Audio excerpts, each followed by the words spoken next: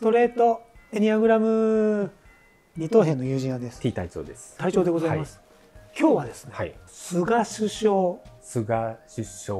菅首相めっちゃ言いにくい。何タイプなんだろうとはい。首相になってからはいはい。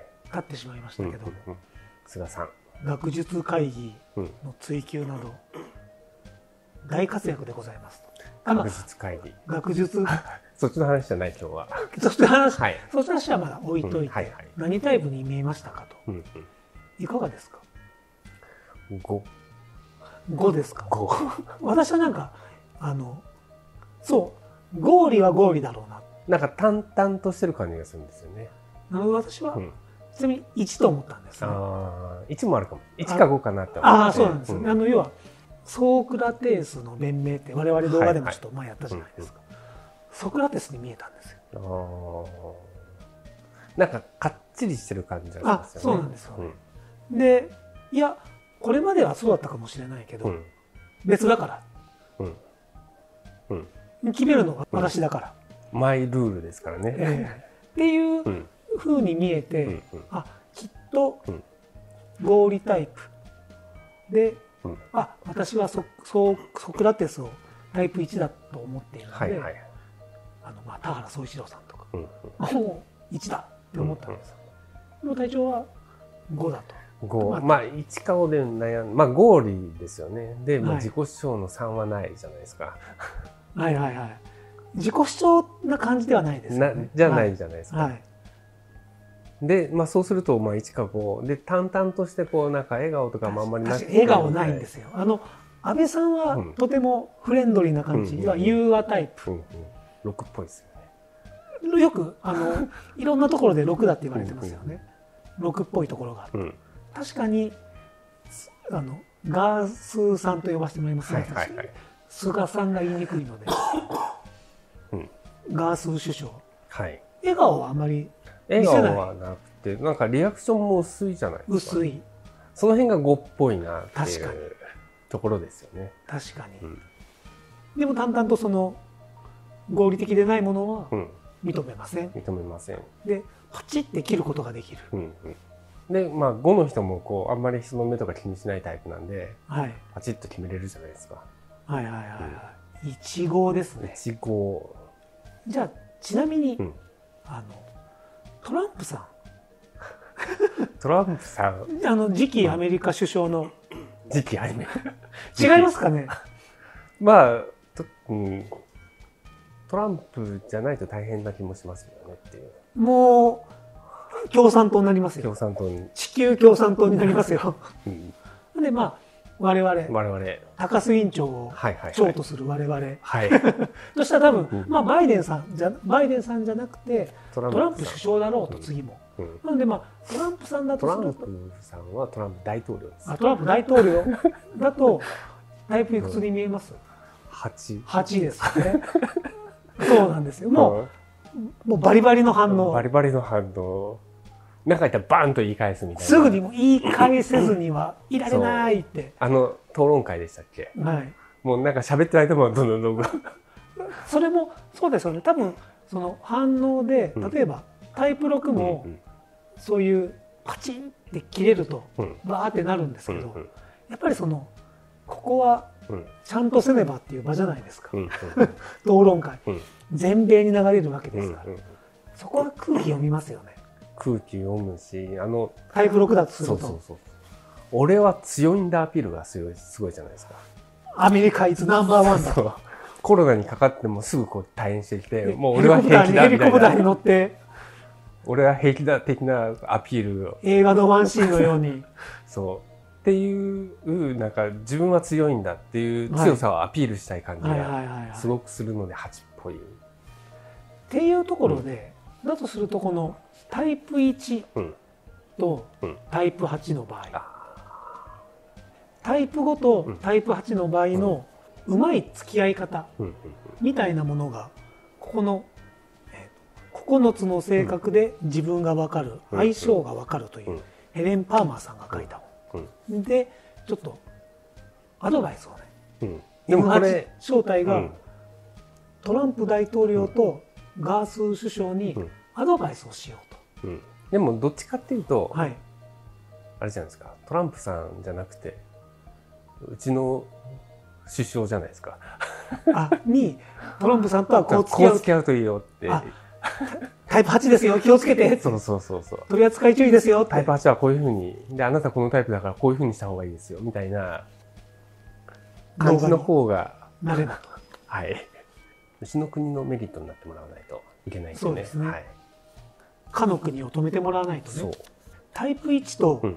タイプ8、うん。完全でありたい人、うん。タイプ1と強さを求め自己主張する人、うん。タイプうん。8の仕事関係について、うん。ね。と意気統合か主導権争いのどちらか一つと書いてあります。確かにですよね。そまあこれは菅首相がタイプ1だと想定したう、う場合、職場でのタイプ1とタイプ8は、うん。まあ意気統合するか主導権争いに走るかのうん。どっちかですと、主導権争いは管理や監督の仕方の違いに端を発しています、タイプ1があいわどっちが上か下かなんですね。うんうん。タイプ1が確率的に部下を管理するのに対し、うん。タイプ8はやっぱ反発しますと。うん。それは理論的で公正であってもうん。許しませんと。多分うん。下でいるっていうのは多分うん。ダメなんでしょうね、タイプ8は、うん。うんもちろんそりゃそうですよね。8は。8は。うん。でタイプ8が上の場合は、うん自分の存在そのもので部下を威圧しうん。管理しようとします、うん。でタイプ8はカットしやすく、うん。その場の思いつきでズバズバものを言いますと。うん。これは攻撃的になることができないうん。タイプ1に対してはうん。適さない管理方法ですと。要は8の人に。8の人が上の場合、ん。タイプ1が下であると。いやタイプ1は攻撃できない。多分融和タイプだから。うん空気を読むから攻撃できない。タイプ1に対してはこのカッとなってドーンっていうのはうん。全然効果的じゃないよっていうことが書いてある。でそうするとタイプ1はうん。批判精神に火がついてまあいろいろ多分あ出るんでしょう。ーあの討論みたいな感じではいはい。まあ、この2人本能的にその自分を守ろうとする衝動とうん。両親が無意識的に折り合ううとん息の合った関係が出来上がります。うん。なんでごめんなさい。さ先に言った話にはならないんですけど、はいはい。この2つのタイプの場合は、タイプ8がうん。タイプ1を見習ってうん。行動に出る前にうん。行き過ぎがあるかどうかをうん。確認しましょうと。うん。まあ行動するのは自己主張の人ですからね。先に行動するのは、なんでこのうん菅首相がタイプ1の場合は、うん。トランプ落ち着けと。落ち着けと、落ち着けと。菅首相の理路整然とした行動を見てくれと、うん。で理路整然と説明してくださいと。うん。そしたらあのうちの首相も分かる子ですからと。うん、合理タイプなんでね。理論的に説明されれば納得す OK るとなる。それをこう威圧的に来ると反発する、っていうところですよね。で、えーと、タイプ5とタイプ8の関係の場合、タイプ5は相手を感情的にそそのかしたり、うん反抗したりしないため、うん信頼関係が築けます。うまくいくかもしれない。5, 5の方がいいですね。5の方がいいです。あ、でも確かにうん5ですよ。あの、静かな雰囲気と、静かな雰囲気ともう。今僕ポキッと折りました。自分の考える。菅首相は5です。うまくいきます。日本とアメリカ。おめでとうございます。でそうなると、えー仕事に集中して、えー周囲の人々にうん。耳を傾けるようになります。うん。タイプ5は、うん。まあそのちゃんとやる。うん。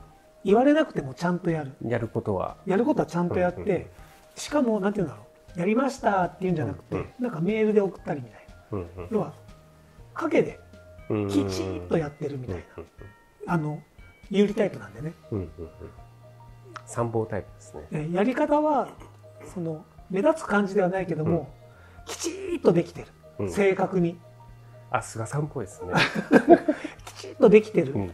から、タイプ8としてはうん。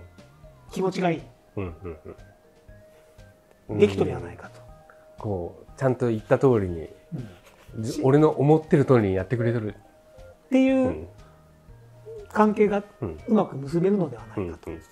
なんでまあ今ねこれうん。ご覧になっている方で、うん。そのなんで日本が下なんや。うん。って思われる方がいらっしゃるかもしれない。アメリカに対して。そう今、トランプ大統領が上ですねって。うん。今私が話をしてますようん。だからそれに対してお叱りをの感情を持っている方がいらっしゃるかもしれないんですけど ここではねタイプ5がうん。上司の場合っていうのがあるんですけども、うん。そこは割愛します。う ん多分タイプ5はうん。あまり言わないですよね。うんこちらからの。言わないとかは。言わないですよ。ただやることはちゃんとうん。言う。コミュニケーションはちゃんと取る。うんうん。苦手でもね。うんまあその辺は大丈夫じゃないですか。首相ですから首相だし、そんな友達じゃないんだから。はいはいはいなんでうまくいきますねこれ、うんうん。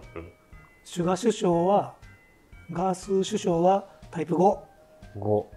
トランプ大統領。次期大統領のトランプさんはタイプ8でまあ8だとすると下から行った方がいいですよね。もちろうん。んでごっそりもらえばいいんですよ。そうそうそういいとこ。そうメリット。メリット。メリットをごっそりもらえばいいんですよ、そう。下からコソコソってね。こそこそってこう上で踊ってもらえばいいんですそう、はいはい。コントロールしていくのが、はい。全然いいやり方ですよ。うんね、うん。あ5だとするといいかもしれないですね、ええ。うまくちょっと転がしてもらえれば、うん、うん、というところはい。でいかがでしょうか？いかがでしょうか？ありがとうございました、はい。チャンネル登録も何卒よろしくお願いします。ありがとうございました。ありがとうございました